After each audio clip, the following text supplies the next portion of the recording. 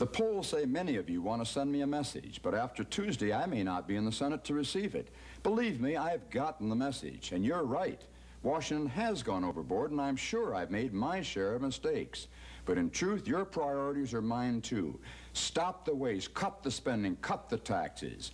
I've worked as hard as I know how for you. I'm not ready to quit now, and I don't want to be fired. I want to keep working for you, and I'm asking for your vote.